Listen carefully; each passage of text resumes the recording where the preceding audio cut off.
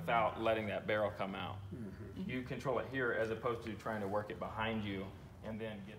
There you go. Wow.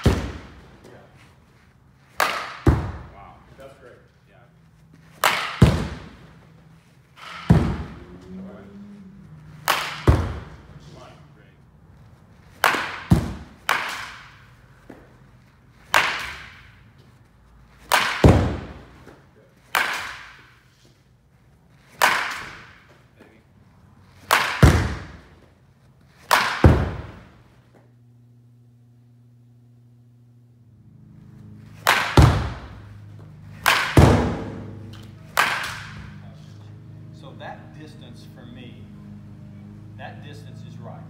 So like for him, he's like two inches. See already. And you're gonna be able.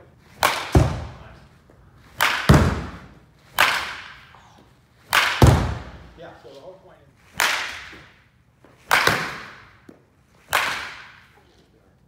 So now I'm looking at how square he is to there. Guys that get into here, you know, kind of start in this position or they're down here. So if it's kind of like, once I kind of establish that rail. in this angle, you know, for just the general purposes, working with a lot of common athletes, is this angle.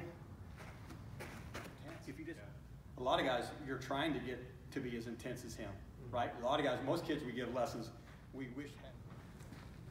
Yeah, so I.